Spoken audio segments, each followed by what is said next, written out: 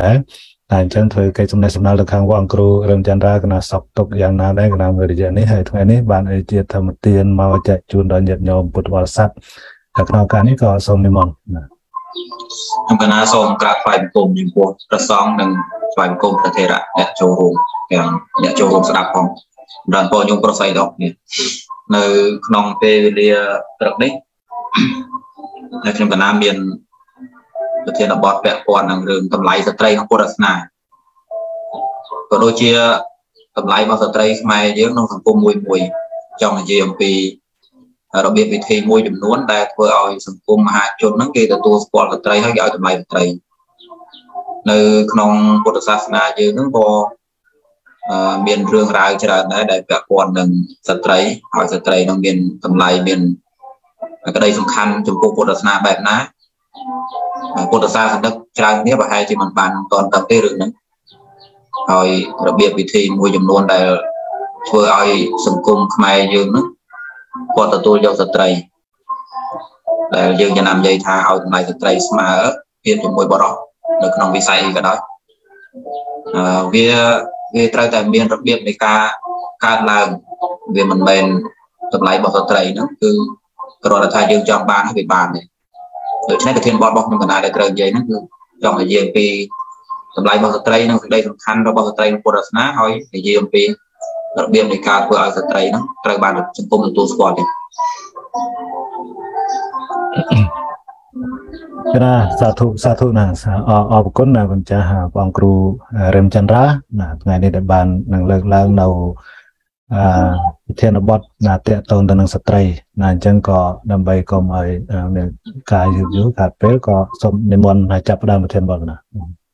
សូមកាប់បាយបង្គំម្ដងទៀតចំពោះលោកចាស់ដែលចូលរួមមើលបានពរញោមគ្រប់គ្នាដែលចូលរួមស្ដាប់ក្នុងពេលព្រឹកនេះក្នុងស្រុកខ្មែរពេលព្រឹកនៅស្រុកកាណាដាពេលល្ងាចអឺថ្មីថ្មីហ្នឹងខ្ញុំកណាបានឃើញពុទ្ធសាសនិកមួយចំនួនដែលពួកគាត់ ចេះតែឆ្ងល់អំពីភាពជាស្ត្រីហ្នឹងហេតុអីបានជាស្ត្រីមិនត្រូវបាន មានសមត្ថភាពឲ្យស្មើនឹងបរិសុទ្ធនៅក្នុងពុទ្ធសាសនាវាមានការលើកឡើងរបស់អ្នកយល់ខុសមួយចំនួនដែលពួកគាត់លើកឡើងថាឧទាហរណ៍ដូចភាពជាពុទ្ធអីចឹងទៅហេតុអីបានជាស្ត្រីនឹងមិនអាចជាពុទ្ធទៅបាននៅក្នុងពុទ្ធសាសនាយើងបាននិយាយពីស្ត្រីនឹងមិនអាចជាពុទ្ធទេមិនអាចជាស្ដេចនៃទេវតាទេ មិនអាចជាព្រហ្មលោកបានទេមិនអាចជាព្រហ្មទេហើយដែលហើយទៅសំបីថាជាមើលឃើញជាក់ស្ដែងនៅក្នុងតំណែងមុខនីតិធំធំរបស់មនុស្សលោកយើងនេះគឺថាមនុស្សម្នាទាំងឡាយនេះគេមិនយកស្ត្រីកើទេសំណួរបានកើតឡើងថានៅក្នុងពុទ្ធសាសនាហ្នឹងតើហេតុអីបានជាស្ត្រីមិនអាចទៅជាប្រពុតបានមានតែបរិសុទ្ធចិត្តតើនេះជាការកំណត់ដោយអយុត្តិធម៌របស់នរណាម្នាក់ឬក៏ជាការចារមក ព្រមពុទ្ធសាសនាមានសម្ដែងចិត្តតែជាការចារមកបែបអយុត្តិធម៌ទេមានមានអ្នកយល់ខុសមួយចំនួននោះគាត់ជាយាមបញ្យល់អ្នកស្ដាប់គាត់ឲ្យយល់ខុសតាមគាត់ថានៅក្នុងពុទ្ធសាសនានៅក្នុងពីបត្រៃបិដកនោះនិយាយថាស្ត្រីមិនអាចជាបរិសុទ្ធត្រង់ហ្នឹងវាជារឿងអយុត្តិធម៌វាជាខ្លឹមសារមួយដែលមិនដឹងជាណាចេះតែសរសេរយ៉ាងទៅព្រោះយើងសំអាងនៅត្រង់ថាបើបរិសុទ្ធហ្នឹងកើតមកមានរូបមានរាងមានអវយវៈមានដៃមានជើង មានចិត្តចេតសិកអីដូចតាមរូបស្ត្រីដែរស្ត្រីដូចតែបរិសុទ្ធបរិសុទ្ធស្ត្រីហេតុអីបានស្ត្រីមិនអាចទៅចង់តើវាអយុត្តិធម៌នេះនេះជាចម្ងល់មួយហើយជាការបកស្រាយប្រឡប់ខុសមួយដែលខ្ញុំកណាចង់បងនិយាយឲ្យញោមបានស្ដាប់ហើយក៏ចង់និយាយពីវិធីក្នុងការធ្វើឲ្យសង្គមហ្នឹងគេទទួលស្គាល់អត្រីជាជាងយើងលើកបដាទៀមទាគេទាំងដែលយើងមិនធ្វើឲ្យសោះគឺតែគេចង់បាន នៅក្នុងពុទ្ធសាសនាពិតជាមាននិយាយមែននៅក្នុងពុទ្ធសាសនាហ្នឹងពិតជាមាននិយាយមែនព្រះសម្ពុទ្ធបានសម្ដែងថាអឺស្ត្រីដែលទៅជាប្រពុតមិនមែនជាឋានៈទេពាក្យឲ្យស្រួលស្ដាប់ចង់និយាយថាมันអាចទៅរួចទេស្ត្រីទៅជាស្ដេចទេវតាมันអាចទៅរួចទេស្ត្រីដែលទៅជាព្រំក៏มันអាចទៅរួចដែរខ្ញុំកណាសូមបន្ថែមឲ្យចាស់នេះជាការបន្ថែមរបស់ខ្លួនណាស្ត្រីទៅជាស្ដេចចក្រពត្តិទៅជាស្ដេចធំធំឬអ្នកការការងារតំណាងឲ្យពិភពលោក គឺมันអាចទៅរួចទេសំណួរសួរថាតើនេះវាជាការកំណត់របស់អ្នកណាម្នាក់មានន័យថាអ្នកណាម្នាក់មានតតពលក្នុងការកំណត់សត្វហ្នឹងឲ្យទៀតឲ្យខ្ពស់គឺមិនមានទេ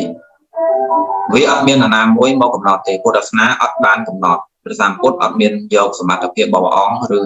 ភាពពិសេសណាមួយរបស់ព្រះអង្គមកកំណត់ទេហើយក៏អត់មានសាសនាណាគ្រូណាច្បាប់ណាមួយដែលគេបានចាកំណត់ វាស្នើឲ្យមនុស្សបែបហ្នឹងទេរឿងទាំងអស់ហ្នឹងវាកើតឡើងប្រព្រឹត្តទៅតាមអំណាចហេតុបច្ច័យក្នុងធម្មជាតិហ្នឹងសំណួរយើងតាំងជាសំណួរសួរថាហេតុអីបានជាស្ត្រីហ្នឹងគាត់មិនអាចទៅជាប្រពន្ធបានសូមបញ្ជាក់អ្នកស្ដាប់ថាស្ត្រីអាចបួសជាវិខុបានស្ត្រីអាចក្លាយជាព្រះរហន្តដែលជាព្រះរហន្តវិខុណាជាព្រះរហន្តតៃបានស្ត្រីអាចចូលបួសបានបួសជាសាមណេរី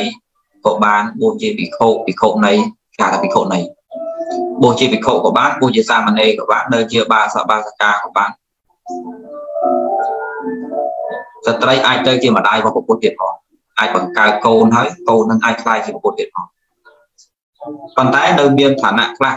ដែលស្ត្រីមិនអាចទៅរួចទេដូចជាការត្រាស់ជាពុទ្ធចឹងតើវាមានមូលហេតុអីពុទ្ធសាសនានឹងចេះតែនិយាយប្រខូចប្រខោឬក៏ជាការកំណត់ ឲ្យមានពីអយុធធម៌បែបហ្នឹងឬយ៉ាងម៉េចតាមពិតទៅវាអញ្ចេះទៀតនៅក្នុងធម្មជាតិនេះរូបរាងកាយរបស់យើងរាល់គ្នាទាំងប្រុសទាំងស្រីខ្ញុំកណាសូមនិយាយថាទាំងប្រុសទាំងស្រីសូមអ្នកស្ដាប់ស្ដាប់ពីតន់ថាយើងគ្រប់គ្នាទាំងប្រុសទាំងស្រីនេះពីក្បាលដល់ចុងជើងបើសិនបើយើងចំណែកវាយើងជំរិកវាឲ្យហៅជំរិកវាហៅស្រួលស្ដាប់តបរាងកាយរបស់យើងត្រូវបានឲ្យឈ្មោះថារូបខណ្ឌ ដែលបង្គំដោយទឹកដីភ្លើងខ្យល់ណាចំណែកផ្នែកខាងក្នុងរបស់យើងចិត្តវិញ្ញាណរបស់យើងត្រូវបានចែកទៅជានាមធម៌វាមានវេទនាសញ្ញាសង្ខារនិងវិញ្ញាណសរុបទៅ5នេះជាភាសាពុះជ្រៀកនិយាយដោយពេទ្យដែលគេមានសមត្ថភាពក្នុងការវិយអវយវៈយើងជាកងពីកងអញ្ចឹងប្រសាពុទ្ធប្រងបានវេកញែកធម្មជាតិនៅក្នុងរាងកាយរបស់យើងដើម្បីយកមកបញ្យល់យើងរាល់គ្នា ហើយយើងពិចារណាមើលចុះព្រះសម្ពុទ្ធបានសម្ដែងពីខណ្ឌ5ពាក់ព័ន្ធរាងកាយយើងខណ្ឌ5របស់ពួកយើងរាល់គ្នាហ្នឹងវាមិនមែនកើតឡើងដោយចៃដន្យទេវាមានដំណើររបស់វាវត្តមានរបស់យើងក្នុងពេលឥឡូវហ្នឹងគឺវាមានអមសិលមិញមិនចឹងទេហើយអមសិលមិញហ្នឹងក៏វាមានអាស័យមុនម្សិលមិញដែរ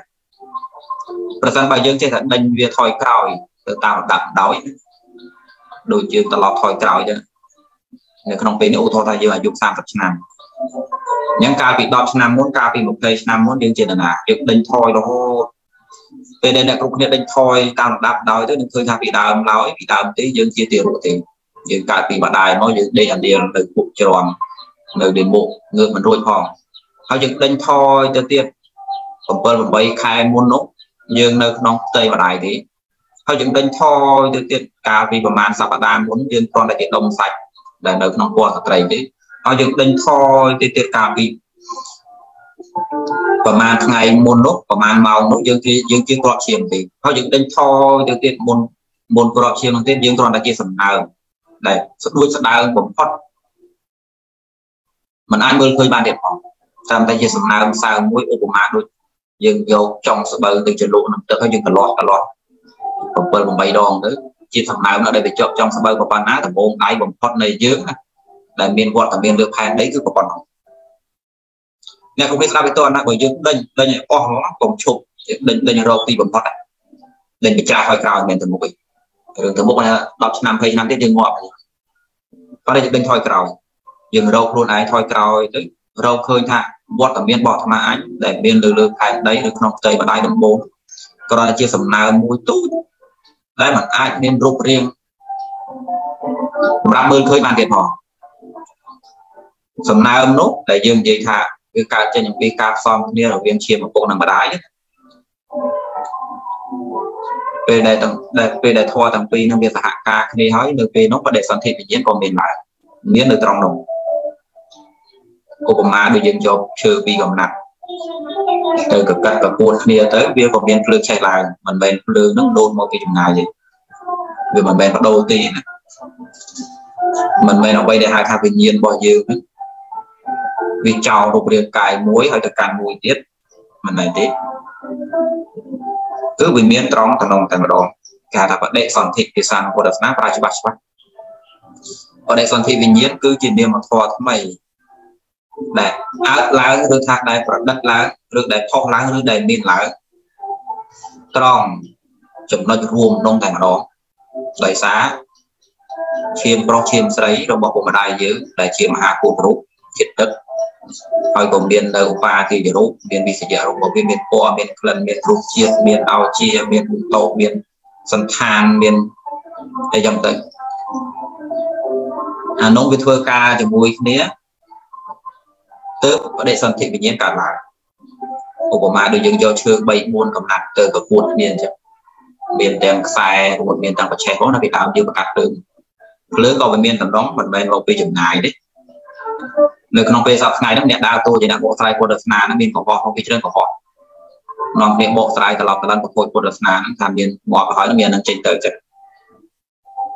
អាហ្នឹងគេការបកស្រាយត្រឡប់ទៀតដោយសារពួកគាត់យល់ខុសផងពួកយល់ខុសឲ្យបកស្រាយក៏មាន ពួកដែលមិនដឹងមិនខ្វល់ពីខុសពីត្រូវគឺចំតែប្រឡប់ក៏មានដែរ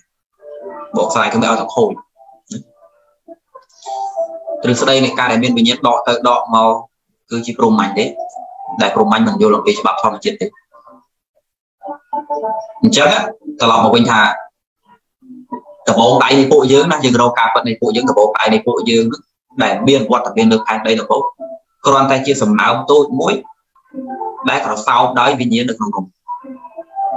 តែមកដល់ពេលនេះយើងមានរូបរាងកាយមានទម្រង់1ម៉ែត្រ50 60ឡើងទៅហើយប្រកបដោយចិត្តចេតសិកដែលចេញធ្វើការដឹងឮរឿងខាងក្រៅសពរូបនេះបច្ចុប្បន្នឯ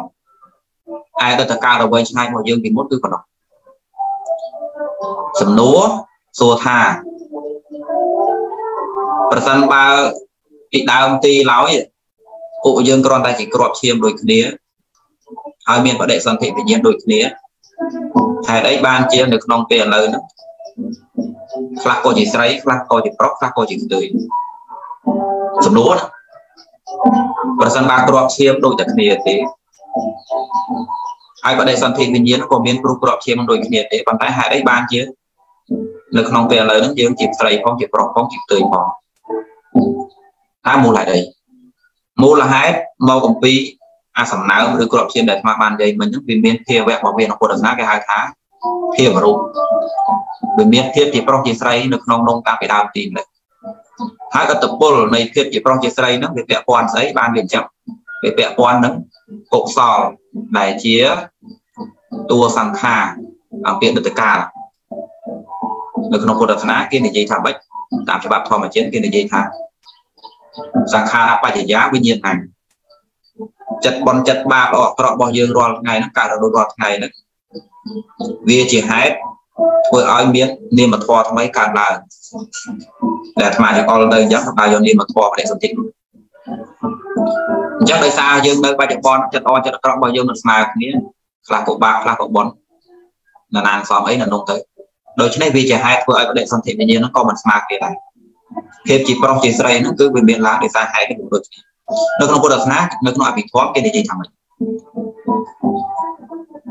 អឺកុសលជាហេតុនាំឲ្យសត្វបដិសន្ធិក្នុងកំណើតនោះហើយកំណើតបរោះនោះគឺបដិសន្ធិដោយកុសលដែលមានសមត្ថភាពឬដែលមានអត្តពលឬមានកម្លាំងប្របាជាងស្ត្រីចំណែកកុសលណាដែលមានកម្រិតខ្សោយជាងនឹងបន្តិចនឹងនាំឲ្យមានកំណើតជាអឺក្នុងណាសូមនិយាយសាស្ត្រមិនថាបណ្ដាប្រុសស្រីនិងស្ទើយក្នុងភាពជាមនុស្សគឺកើតដោយកុសលដូចគ្នា គ្រាន់ថាភាពជាបរិសុទ្ធនៃរូបរាងកាយជាបរិសុទ្ធដែលមមមួនជាងគ្រាន់បើជាងមិនសូវមានរូបជាងខ្លាំងជាងហ្នឹង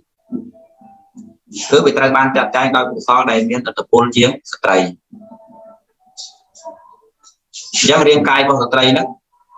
ឈ្មោះថាត្រូវបានរៀបរយចាត់ចែងដោយផ្នែកកុសលដែលវាតិចជាងវាវាដូចថាកម្រិតហ្គារបស់វាណា180 60អញ្ចឹងយើងអាចនិយាយថាបរិសុទ្ធ100ទៅស្ត្រី80ឬ60 ក៏ព្រោះតែមូលហេតុនោះវាមិនដូចគ្នាបានជាយើងមានសភាពជាប្រុសជាស្រីមិនដូចគ្នារូបរាងកាយបររូបរាងកាយនៃបរិសុទ្ធគឺជារូបរាងកាយដែលមានប្រៀបធៀបអញ្ចឹងបានជានៅក្នុងពុទ្ធសាសនាគេនិយាយថាស្ត្រីតែមានទុក3ប្រការជាប់តាមមកជាដរាបមិនមែនព្រះណាអ្នកដាក់ទេមកអំពីគេវៈជាស្ត្រីវាពំនាំអានឹងមកទុករស់រដូវរោគស្ត្រីបរិសុទ្ធមានទេ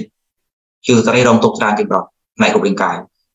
ទុកព្រោះការពពោះកូន ហើយនឹងទុករបស់ស្ត្រីព្រោះរូបរាងកាយទុំជ្រាយទៀតបីយ៉ាងហ្នឹង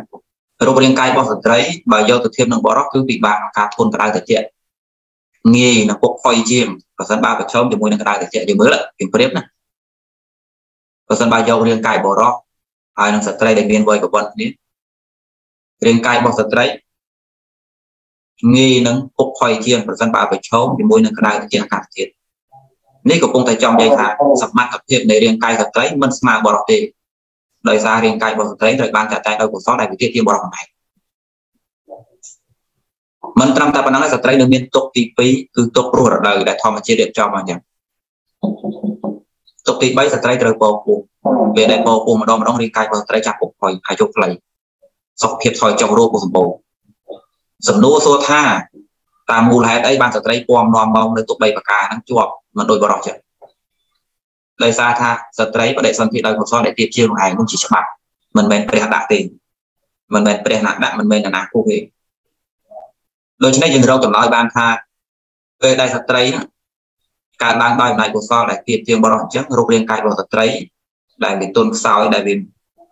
លំបាកជាងបរិសុទ្ធអញ្ចឹងចិត្តដែលអាស្រ័យរូបរាងកាយបែបហ្នឹងក៏វាមានកម្រិតសមត្ថភាពរបស់វាដែរ ស្ត្រីមិនអាចមានឆន្ទៈក្លៀវក្លាក្នុងការយកនៅពុទ្ធការកៈធម៌បារមី10របស់ពុទ្ធមកអនុវត្តបានទេនៅក្នុងបារមីរបស់ពុទ្ធឬថាបដិបទាដើម្បីបានភិជាពុទ្ធគឺលំបាកណាស់លំបាករហូតដល់ចិត្តស្ត្រីមិនអាចលុបមិនអាចធ្វើវាបាននឹងបណ្ណាមិនមែននិយាយថាស្ត្រីលើលោកហ្នឹងមិនមានឧត្តមគតិទេមិនមែននិយាយថាស្ត្រីលើលោកហ្នឹងមិនមានឆន្ទៈមុតស្រួយទេវាមានខ្លះដែរប៉ុន្តែមិនដល់កម្រិតបរោះឡើយ តួយ៉ាងឧទាហរណ៍នៅក្នុងផែនដីបរោះអាចមានឆន្ទៈរហូតដល់ទូលផែនដីដើម្បីផាជួនបានតែស្ត្រីមិនសូវនិយាយការព្រមស្លាប់ដើម្បីជាតិឬការធ្វើរឿងមួយដែលជាវីរកម្មភាគច្រើនជាបរោះតាមមូលហេតុអីដោយសារដោយសាររាងកាយនៃនៃសត្វហ្នឹងរាងកាយនៃបរោះថាសត្វហ្នឹងមានតម្រងបែបហ្នឹងវារុញច្រានឲ្យចិត្តដែលមានឆន្ទៈខ្ពស់ហ្នឹងកើតឡើងបានប៉ុន្តែកាយរបស់ស្ត្រីអត់ទេស្ត្រីគាត់មានឆន្ទៈដែរគាត់មុតស្រួយដែរប៉ុន្តែនៅក្នុងកម្រិតមួយ ដូច្នេះពុទ្ធការកធម៌បដិទទានរបស់ពុទ្ធគឺលំបាកណាស់យើងលើកតែមួយមកដូចទៀនលះបង់អ្វីអ្វីគ្រប់យ៉ាងនៅខាងក្រៅគឺបារមីទៀតទៀនបារមីកម្រិតចិត្តដ៏ឃ្លាវខ្លាគិតសក់ទុកអ្នកដតីសំបីថាវេវៈរបស់ខ្លួនក៏កាត់បានបំណាច់ចិត្តគិតគេហ្នឹងខ្វេះភ្នែកឲ្យគេក៏បានកាត់ដៃកាត់ជើងយកឲ្យគេក៏បានជាឧបបារមីដើម្បីគេសុខចិត្តងាប់ងាប់ទៅទាំងសុបាយចិត្ត អត់មានស្ដាយជាបរមត្ថបរមីសំណួរសួរថាយើងនិយាយភាពជាក់ស្ដែងតើស្ត្រីទៅរួចត្រឹមតែទានបារមីមួយហើយត្រូវសន្សំច្រើនណាស់បដិបទាឬពុទ្ធការកធម៌ខ្លះត្រូវលះបង់គុំស្រុកគ្រប់យ៉ាងចូលទៅនៅព្រៃនេះឯងអីចឹងជាដើមខ្ញុំកណាកំពុងតែចង់និយាយថាមកអំពីទី1មូលហេតុមកអំពីរាងកាយរបស់ស្ត្រី និងចិត្តរបស់ស្ត្រី វាមានកម្រិតរបស់វាវាមិនអាចទៅរួចនៅក្នុងរឿងខ្លះទេរាងកាយបែបហ្នឹងវាសាងកម្រិតចិត្តបែបហ្នឹងបានតែប៉ុណ្ណឹងមិនមែនអ្នកណាអ្នកដាក់ទេមកអំពីរាងកាយដែលជាមូលដ្ឋានសម្រាប់ចិត្តហ្នឹងវាចាំដូច្នេះចិត្តហ្នឹងវាមានឆន្ទៈប៉ុណ្ណឹងមូលហេតុទី2ដោយសារពុទ្ធការៈកធម៌របស់ពុទ្ធនេះបដិបទាដែលមកបានពីពុទ្ធណាមិនមែនសកលត្រាវិធានមុធីអញ្ចឹងទេវាលំបាកណាស់ដែលស្ត្រីមិនអាចធ្វើបានវីរកម្មនេះជាវីរកម្មលំបាក ខ្ញុំបានសូមលើកតួយ៉ាងនៅពេលដែលព្រះសង្ឃពុទ្ធយើងត្រូវបានប្រពុតព្រាមទីបាកបជាកថាអ្នកនឹងបានក្រាស់ជាប្រពុតកន្លងទៅ4សង្ខ័យនៃសែនកាប់ទៀតពេលនោះគេនិយាយអំពីអង្គ8នៃនៃពោធិសត្វណាខ្ញុំបានសូមលើកទៅមួយនិយាយពីផ្លូវចិត្តចិត្តរបស់ពោធិសត្វក្នុងពេលនោះសឹងនិយាយបានថាដើម្បីបានភាពជាពុទ្ធទូថាផែនដីនេះគេក្រាលដោយភ្លើងអញ្ចឹងឲ្យដើរទៅឲ្យឆ្លងផុតចក្រវាលមួយតែឯងព្រមទេឧទាហរណ៍ថាបើចក្រវាលមួយដ៏ធំធេងហ្នឹងក្រាលដោយភ្លើង ឆេះសន្ធោសន្ធើនឹងឲ្យគេឲ្យឯងដើរឆ្លងទៅនឹងបានជាជាពុទ្ធតែចិត្តរបស់អ្នកយ៉ាងម៉េចដែរអ្នកអ្នកញាប់ញ័រនេះអ្នកខ្លាចទេអ្នកប្រងចិត្តរបស់ពុទ្ធសាសក្នុងពេលនោះសុបាយជាងស្អីទៀតថាបើបានធ្វើអញ្ចឹងបានបានជាពុទ្ធគឺធ្វើមកអត់មានរងរាសម្បីតែមកគណៈចិត្តពុទ្ធនេះលោកតែកម្រិតចិត្តជាដើមនោះធ្លាក់ដល់ប្រព័ន្ធនោះឡើងដល់ប្រព័ន្ធនោះទើបទទួលការជាករបស់ពុទ្ធសំណួរសួរថាជនប្រភេទហ្នឹងចិត្តប្រភេទចឹងមានក្បួន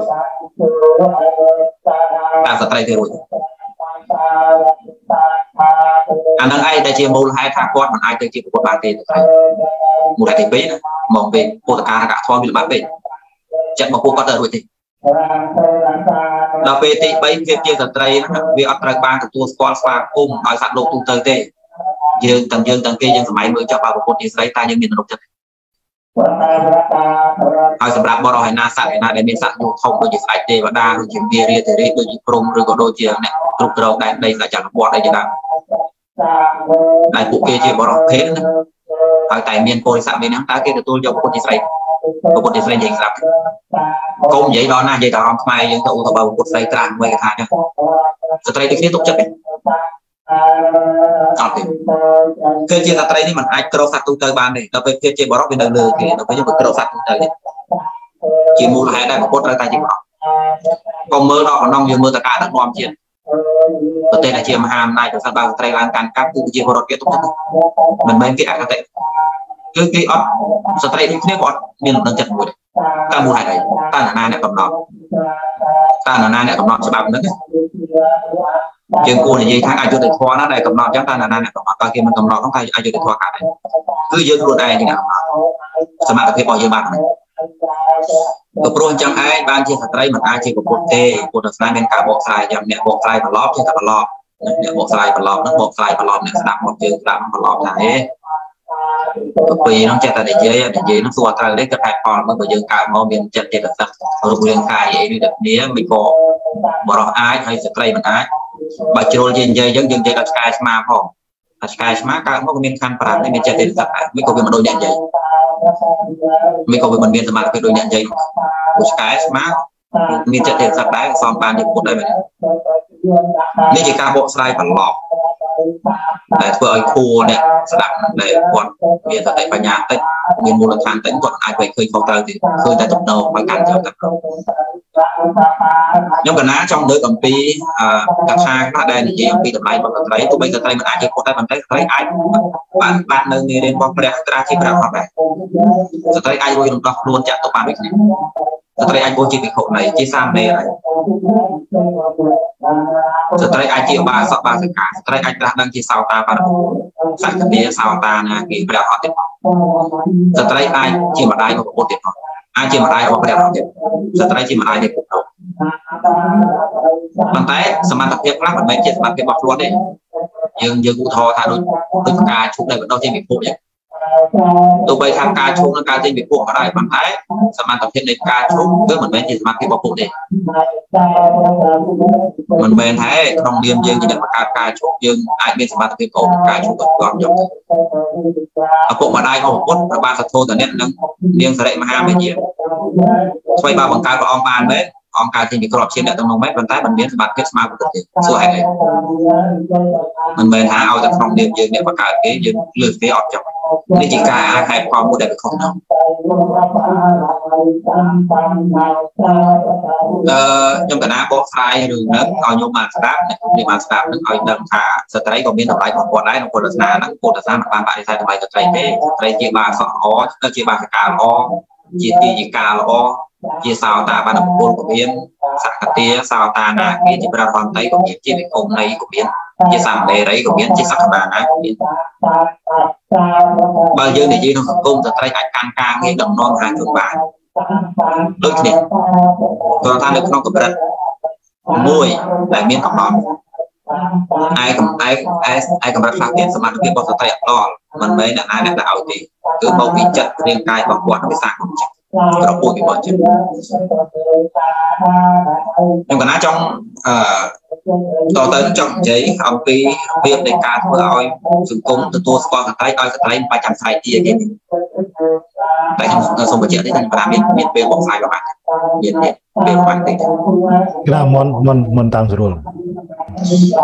ខ្ញុំគ្រប់គ្នាអ្នកស្ដាប់ជាធម្មតាទេយើងរស់នៅក្នុងសង្គមយើងចង់បានភាពស្មើភាពភាពស្មើភាពវាខុសអំពីអឺភាពស្មើភាពនៅក្នុងផ្លូវច្បាប់វាខុសអំពីការស្មើគ្នា ដែលយើងធ្លាប់ប្រទះកន្លងមកនៅក្នុងសម័យពលពតស្មើគ្នានៅក្នុងកម្រិតរបស់ការដឹកនាំមេដឹកនាំរបស់ពុកម្នេញ តួយ៉ាងដូចសម័យខ្មែរក្រហមហ្នឹងគឺគេប្រមូលអ្វីៗគ្រប់យ៉ាងដែលមានសមត្ថភាពមិនដូចគ្នាតម្លៃមិនដូចគ្នាក៏ច្បាច់ឬក៏យើងយករបស់គ្រប់យ៉ាងមកចូលក្នុងស្បោងតែមួយអញ្ចឹងអាវែងអាខ្លីអាទុនអារឹងអាល្អអាក្រក់អាស្អុយក៏យកមកដាក់ក្នុងស្បោងតែមួយក្មួយមាត់វាចងក្រឹបឲ្យតឹងឲ្យរត់កាមរួច នោះជាការយល់ឃើញរបស់មេដឹកនាំគុំនេះតែតែគេហៅថាស្មើគ្នាគឺស្មើញោកខ្ញុំបានជាសម័យនោះយើងប្រទះឃើញតូននឹងហៅពុកម្ដាយមិនមែនហៅពុកម្ដាយទេហៅស្មាមិនមានណាលើណាទេគេជាសងអ្នកមួយក៏មានដែរមែនអ្នកមានអ្នកក្រស្អីគ្រូអាចារ្យក៏អត់ដែរដោយថ្មមកមកយ៉ាងយករបស់គ្រប់យ៉ាងទាំងមាសទាំងប្រាក់ទាំងដុំគ្រោះដុំថ្មវែងខ្លីក្បោងស្អុយនោះ ដាក់ចូលថងកម្ពុជាមាត់ចងខ្សែនេះជាការស្មើគ្នារបស់ពលពតស្មើគ្នារបស់មេដឹកនាំខ្មែរអប៉ុន្តែភាពស្មើគ្នានៅក្នុងផ្លូវច្បាប់នៅក្នុងសង្គមសេរីដូចសង្គមយើងឥឡូវគេនិយាយអំពីសិទ្ធិនិងសេរីភាពហើយនឹងផលប្រយោជន៍សិទ្ធិសេរីភាពផលប្រយោជន៍និងភាពថ្លៃថ្នូរ 4ហ្នឹងអ្នកណាក៏គួរទទួលបានដែរមិនថាអ្នកនោះមានវ័យប្រមាណណាភេទជាអីក៏ដោយសិទ្ធិសេរីភាពវាថែមអំណាចរបស់ទៅសិទ្ធិសេរីភាពអំណាចផលប្រយោជន៍និងសេចក្តីថ្លៃថ្នូរគឺយើងត្រូវការឲ្យគ្រប់គ្នាហ្នឹងទទួលបានស្មើស្មើគ្នាតែមិនមែនបានន័យថាមនុស្សគ្រប់គ្នាហ្នឹងមានតម្លៃស្មើគ្នាគុណធម៌ស្មើគ្នា សេចក្តីល្អស្មើគ្នាសមត្ថភាពចំណេះដឹងស្មើគ្នាទេមានខុសគ្នាដោយសារបុគ្គលរៀងៗខ្លួននេះដាក់ធ្វើទៀតប៉ុន្តែនៅក្នុងសង្គមប្រជាធិបតេយ្យឬសង្គមខ្មែរយើងនឹងគឺត្រូវឲ្យមានអានឹងស្មើគ្នាមិនថាយើងជាអ្នកបួសខ្វះប្រុសស្រីចាស់ទេកាន់ពុទ្ធសាសនាឬអ៊ីស្លាមឬក៏យេស៊ូណាគឺត្រូវមានអានឹង ប៉ុន្តែកន្លងមកតត្រីទាំងឡាយគាត់ចេះតែមើលឃើញគាត់ចេះតែយល់ថាខ្លួនគាត់វាអត់ស្មើនឹងបរិបវាទទួលបានអានឹងទេពីក្រៅវាទទួលបានពេញលេញបាទជាមានចលនាចេះតែទៀមទាតាមរយៈទំព័រ Facebook page YouTube ឬក៏រូបភាពក្នុងសង្គមជាក់ស្ដែងស្ត្រីទាំងឡាយគេច្រើនគាត់តែនិយាយថាបរិបត្រូវឲ្យតម្លៃស្ត្រីផង យកមកពេលដែលយើងទៀមទាអញ្ចឹងមិនថាទេខាក៏ថាចុះប៉ុន្តែតម្លៃរបស់ស្ត្រីវាមិនអាចឡើងដោយសារយើងទៀទេសមាជភាព gender របស់ស្ត្រីហ្នឹងมัน អាចទទួលបានដោយសារស្ត្រីនឹងគ្រាន់តែទាគេឬគ្រាន់តែស្រ័យធំគេទេវាអាចទទួលបានដោយហេតុគ្រាន់តែយើងនឹងចេះលើកបដាប្រមូលគ្នាទាំងកងទាំងកងទៅបាតកម្មគេទេអត់បានលក្ខណៈ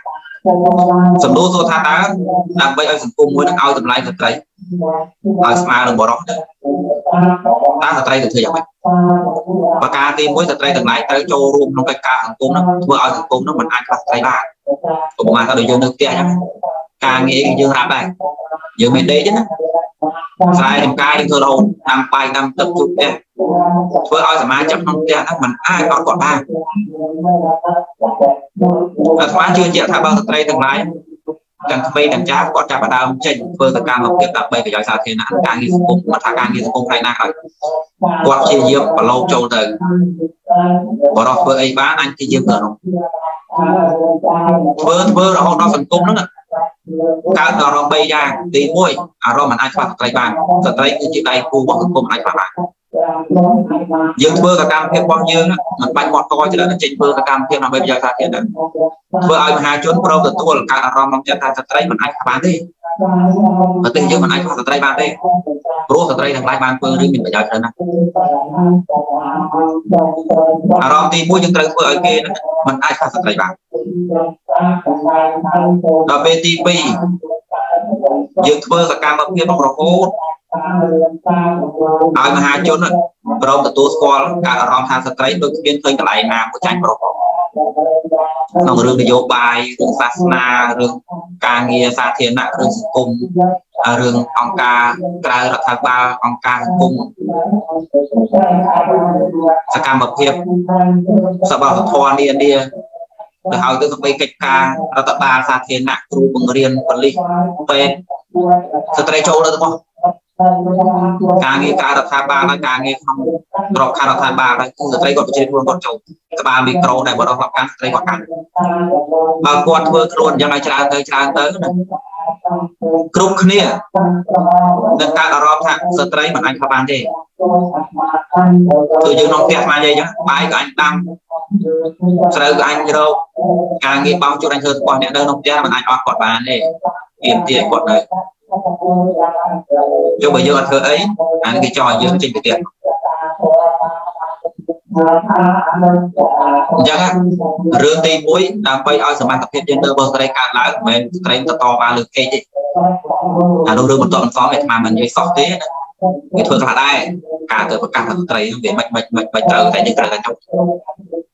ប៉ុន្តែនោះជារឿងកបិកបកទេ ផ្ទុយវិញស្ត្រីទាំងឡាយទៅបីអត់មាត់អត់ទៀមទាស្អីពុកគាត់ប្រពន្ធនេះធ្វើការងារចឹងតែអានិយាយការងារស្អីសាសនាវ័យនៃបព្វធម៌កិច្ចការស្អីក៏ស្ត្រីចូលដែរយុវតីជាពិសេសការងារនយោបាយជានយោបាយនយោបាយបំនយោបាយទេនយោបាយបានបរោះអីអញ្ចឹងទេណាឯងខាត់តែនិយាយខាត់តែភាសា តែងតែខ្លួនឲ្យអលងអលងទេ100ឆ្នាំទៀតក៏ស្ត្រីនៅតែប៉ុណ្ណាគេអត់ទោសគាត់ទេហើយមិនទៀតទេទៀងគាត់ទេប្រហែលតែបើបើខ្ញុំសម័យមើលខ្ញុំសាក់សម័យខ្ញុំទៀតសម័យមុខបើយុវតីរបស់ខ្មែរកិច្ចការគាត់ធ្វើដែរហើយទៅសម្បីតែការដែងធំកិច្ចការនិយាយបញ្យលក៏គាត់ចាប់ដែរអ ញយកអស់សង្គមនេះជាសង្គមដែលគ្រប់គ្នាការរបស់ធម្មតាឆាក់ស្រីបាន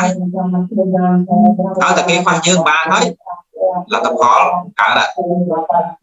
អារម្មណ៍ទី2យើងធ្វើសកម្មភាពរហូតឲ្យមហាជនទទួលស្គាល់ថាដូចជាមិនឃើញស្ត្រីខុសពីស្ត្រីនឹងអន់ជាងបរិសុទ្ធត្រង់ណាផងស្អីគាត់ធ្វើបាន ធ្វើធ្វើរហូតដល់មហាជនមើលឃើញទទួលយកមកទទួលយកពីអារម្មណ៍ថាដូចមិនឃើញស្ត្រីអន់ជាងបរិសុទ្ធត្រង់ណាផងស្អីគាត់ធ្វើបាននេះអារម្មណ៍ទី2អារម្មណ៍ទី3យើងធ្វើធ្វើរហូតដល់មហាជនហ្នឹងទទួលស្គាល់អំពីសេចក្តីល្អរបស់ស្ត្រីពួកស្ត្រីគាត់ធ្វើប្រយោជន៍ដល់ជាច្រើនណាស់ប្រយោជន៍ដល់មហាជនច្រើនណាស់ ទទួលស្គាល់ផ្លូវចិត្តរបស់ទទួលស្គាល់ស្ដីល្អរបស់ពួកគាត់យើងមកឧទាហរណ៍សម័យខ្មែរយើងមានក្រៀមអញ្ចឹងធ្លាប់មានប្រវត្តិរបស់ស្ត្រីពេលដែលគាត់ចេញទៅធ្វើវីរកម្មបីជាតិគេចាំឈ្មោះគាត់គេគោរពគាត់បើផ្លេចគាត់អត់បានទេវិធីទី1ស្រួលទេដើម្បីឲ្យស្ត្រីត្រូវបានហាជនទូស្គាល់ឬថាគ្រប់គ្រងទូស្គាល់ស្ត្រីទៅចូលរួមរឿងសាធារណៈច្រើនដោយមិនបាច់ទីអញធ្វើតតែក្មេងចាស់ប្រុសស្រីទាំងពុះទាំងមិនពុះទាំងប្រុសទាំងស្រី ទទួលយកស្ត្រីដោយផ្លូវចិត្តតែម្ដងធ្វើធ្វើរហូតដល់គេមិនអាចអត់បានធ្វើធ្វើរហូតដល់គេមើលឃើញថាកន្លែងណាដែលថាស្ត្រីអន់ជាងប្រុសអត់មានធ្វើធ្វើរហូតដល់គេទទួលស្គាល់ស្ដីល្អរបស់ស្ត្រីចាំរូបសាទីគាត់ពេលនោះតម្លៃស្ត្រីកើតឡើងហើយតែតម្លៃស្ត្រីកើតឡើងក្នុងចិត្តអញ្ចឹងហើយរឿងការសរសេរច្បាប់សរសេរកតិកាសរសេរកិច្ចព្រមព្រៀងណាមួយ ដើម្បីការពារស្ត្រីនោះវាកើតឯងវាកើតតាមក្រោយជាធម្មតាមុននឹងគេទៅសេច្បាប់អីមួយដើម្បីការពារណាម្នាក់អត់តទៅគេឲ្យកន្លែងហ្នឹងមកគេការពារដូចខ្ញុំនៅក្នុងផ្ទះខ្ញុំមិនដែលទៅសេកតិកាការពារឆ្កែឆ្មាទេយើងការពារតែគ្នាយើងមនុស្សក៏យើងឲ្យតម្លៃទៅការពារឆ្កែឆ្មាទេតែបើខ្ញុំឃើញឆ្កែឆ្មាហ្នឹងមានតម្លៃប៉ុនមនុស្សខ្ញុំនឹងទៅសេស្អីការពារវាបកកើតស្ថាប័នអនុវត្តដើម្បីការពារវាគេហៅថារបៀបបង្កើតតម្លៃខ្លួនឯង តែរបស់មួយដែលគេយល់ថាថ្លៃហើយមហាជនគេចាប់អារម្មណ៍ហើយគេការពារហើយដូចញោមនៅក្នុងផ្ទះអញ្ចឹងយើងអាចបង្កើតកតិកាឲ្យតម្លៃគ្នាតែសម្រាប់មនុស្សឆ្កែឆ្មាយើងអត់ចង់ណាមទៀតគាត់អនុវត្តតែមែនដោយសារគេមានតម្លៃក្នុងចិត្តដូចគ្នាបើស្ត្រីទាំងឡាយគាត់ធ្វើរឿងការងារដើម្បីសង្គមយ៉ាងហ្នឹងអារម្មណ៍របស់មហាជននឹងឲ្យគាត់អត់គាត់បានផងត្រូវការគាត់គ្រប់គ្នាហើយគាត់ធ្វើធ្វើឲ្យយើងមើលឃើញថាគ្មានកន្លែងណាដែលស្ត្រីមួយមិនអាចផងស្ត្រីធ្វើបានជាបរិសុទ្ធផងធ្វើឲ្យជាបរិសុទ្ធផងហើយសេចក្តីល្អរបស់គាត់ទាំងឡាយគាត់ជះមកគេគ្រប់គ្នាចាំគ្រប់គ្នាផងដូច្នេះរឿងការសរសេរច្បាប់អីការពារស្ត្រីស្ថាប័នអង្គការក្រសួងគឺវាការតាមក្រោយទេផ្ទុយមកវិញបើយើងអត់តម្លៃក្នុងគេនៃគេទេគ្មានអ្នកណាគេទៅសេស្អីការគេយើងទោះទៅសេក៏ទៅសេចោលហើយគូឯងអញគ្មានអនុវត្តទេក្នុងរបៀបនៃការបានមកនៅសមាជិក gender ផ្ទុយមកវិញណាអាត្មាមិននិយាយគ្រប់គ្នាណាក៏ឧទាហរណ៍ទេកុំប្រកាន់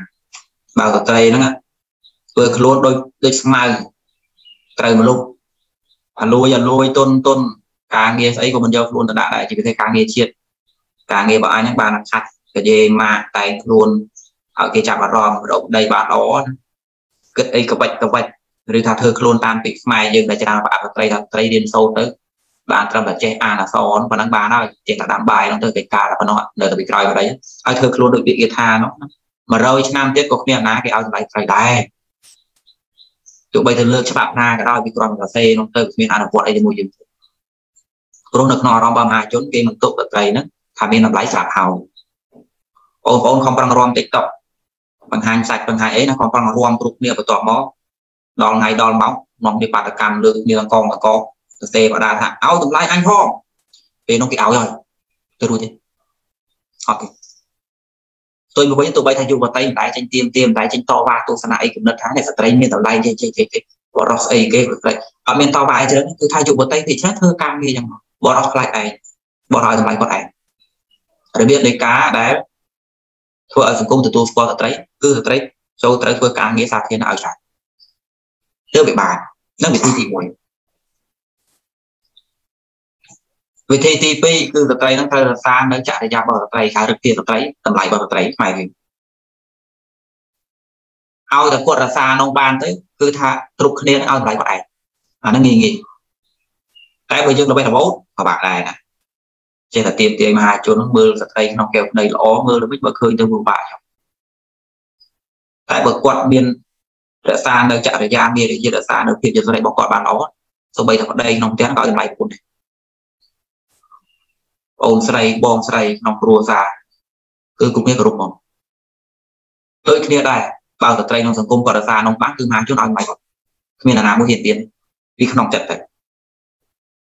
ចុះបើមើលទៅធ្វើខ្លួនដូចផ្កាសម្រាប់ដកគេដាក់តិចអីចឹងដូចផ្កាដកតាមលបងគេចង់ណាហិតហិតទៅបោះចោលបោះចោលទៅឲ្យតែធ្វើខ្លួនទៅអញ្ចឹងគឺគេមើលគេឯងគាត់ហើយវាយងាប់មានច្បាប់ណាការពារស្ត្រីបានរឿងបរិបទដែលចេះតែមានចិត្តចង់ដូរស្ត្រីបំពេញស្ត្រីគឺការឯងមកដោយសារគាត់ធ្វើខ្លួនចឹង នេះរឿងពិតនាងវិសាខាតួយ៉ាងស្ត្រីគាត់ស្អាតខ្លាំងណាស់គាត់ជាកូនអ្នកមានហើយនិយាយពីចរិយាមានយើងរបស់គាត់ហ្នឹងណាហើយយើងមិនថាទៅធ្វើខ្លួនដូចគាត់ទេណាវាមិនដូចទេនាងវិសាខាដល់ពេលគាត់ជាមនុស្សយកនៅក្នុងចិត្តរបស់មហាជននៅនគរនាងវិសាខាដូចការដែលគេទូលើក្បាលយ៉ាងណាក៏គេឲ្យតម្លៃនាងវិសាខាដែរ ដើម្បីសម្ដីរបស់នាងវិសាខានិយាយទៅមិននិយាយចោលមិនដូចយើងស្ដាប់ទៅមាត់ចោលនិយាយទៅហើយគឺមហាជនតាមរឹសសម្ដីគាត់កម្មវិធីមង្គលកម្មវិធីធំធំនានាណាមួយគេប្រើរូបហ្នឹងគ្រាន់តែគេអញ្ជើញគាត់ឲ្យឃើញមុខគាត់ហ្នឹងគេចាត់ទុកថាមានមង្គលហើយសន្យាថាបានថាបើសិននាងវិសាខាគិតដល់លុយរកកាក់វិញរកលុយរកកាក់គ្រាន់តែអង្គុយលើកៅអីនោះក្នុងកម្មវិធីរបស់គេពួកគេក៏គេទៅគេជូនលុយរឿងតារាប់ពាន់រាប់លានដែរដោយមិនចាំបាច់ធ្វើអីផង ដោយសារគាត់ជាស្ត្រីថ្លៃណាស់អាត្មាមិនបាននិយាយថាយើងឯណាទៅធ្វើយ៉ងទេគ្រាន់ថាស្ត្រីបើគាត់រក្សាចរិយាមារយាទរបស់គាត់បានយ៉ងទៅគ្មានបរំណាមើងងាយគាត់ទេវាមានខ្លះដែរមិនអត់ទេគាត់ថាភាគច្រើនគឺអត់វាចង់ថាមិនយើងស្លៀកខោកបោយលហែកដល់លើយ៉ាងហ្នឹងគួយទៅទាអំពីតម្លៃរបស់ស្ត្រីយ៉ាងនេះអត់មានណាអត់ទេប្រុសប្រុសប្រមាណមើងងាយ ឲ្យតែឃើញខ្ញុំប្រមាថមើងងាយនិយាយចេញមកមើងងាយនិយាយដល់ណាដល់ណីឲ្យតែឃើញខ្ញុំនិយាយមើងងាយបាទវិទាញវិទាញធွာវិទាញញ៉ឹងបើយុវតីគាត់ជានិស្សិតត្រឹមត្រូវគាត់រៀនឲ្យគាត់រក្សាកិច្ចស្ដីរបស់គាត់អូអញ្ចឹងគាត់នៅទទួលបានការស្វាគមន៍ដោយត្រឹមត្រូវការឆ្លើយតបដោយសមរម្យទៅវិញរបស់មហាជនហើយនឹងតម្លៃរបស់គាត់នឹងនឹងគាត់នឹងស្មើភាពមួយពួកគេដល់ពេលទី3 ស្ត្រីត្រូវចេញធ្វើវីរកម្មណាមួយដែលជារឿងអស្ចារ្យហើយមហាជនបានឃើញហើយវាដិតដាមជាហេរ៉ូរបស់មហាជនប្រសិនបើធ្វើបានទោះមានមួយមានពីរហើយយើងមើលសម័យសាធារណរដ្ឋស្ត្រីកាន់កំភ្លើងចូលរួមនឹងជាតិមិនច្រើនដូចបរិសុទ្ធទេបរិសុទ្ធមកច្រើនបើស្ត្រីមានមួយមានពីរដល់ពេលគាត់ទៅធ្វើសកម្មភាពដែលគេហៅថាវីរកម្មមហាជនគ្រប់គ្នាជ្រាបទាំងអស់ការដែលគេយកគាត់ដាក់ក្នុងចិត្តនឹងគឺមានក្នុងគ្រប់ស្រទាប់បានណាដូចដូចនាង វាគាត់តារានៅខេត្តសៀមរាបពីដើមហើយគាត់ជានិស្សិតធម្មតាតែគាត់ទៅពេលសម័យកាលមួយមកដល់គាត់កាន់កំភ្លើងដើម្បីការពារនិស្សិតសុខចិត្តងំតើវីរកម្មរបស់នាងនាងបណ្ណារាមកដល់ពេលឥឡូវបានទូពីស្នារបស់អ្នកស្រុកនៅទីក្នុងនិស្សិតបញ្ញវន្តគេដឹងជាពិសេសសម័យនោះញោមបើស្ត្រីចេញធ្វើវីរកម្មដើម្បីជាតិឲ្យតែបានច្រើនដែរក្នុងអារម្មណ៍អាមាជុនគឺកែផងឲ្យបាយស្ត្រីផងហ្នឹងទី3 ដល់ពេលទី4មិនអាចអត់បានទេគឺស្ត្រីត្រូវបង្កើតច្បាប់ដើម្បីការពារខ្លួនចង់បង្កើតក្រោយក៏មិនអាចជាបានដែរគឺបង្កើតច្បាប់ដើម្បីការពារខ្លួនជាយាមទៀមទីឲ្យមានការបង្កើតច្បាប់បង្កើតស្ថាប័នអនុវត្តនេះជាគោលការណ៍ចុងក្រោយជាពិសេសអាទី1មានអាទី1អា3 4ទៀតនោះតែបើយើងមិនបានអនុវត្តស្អីសោះហើយសាប់ឲ្យយើងសក់សក់មិនធ្វើអីផងថ្ងៃហ្នឹងថ្ងៃស្អែកដូចតែគ្នាចង់ឲ្យពិភពលោកនឹងឲ្យដៃស្ត្រីខ្លោច ខ្ញុំកណាសូមចូលរួមប៉ុណ្ណឹងទៀតកែលោកមានលោកចាស់ចង់ចូលរួមអីបងសិនទៅ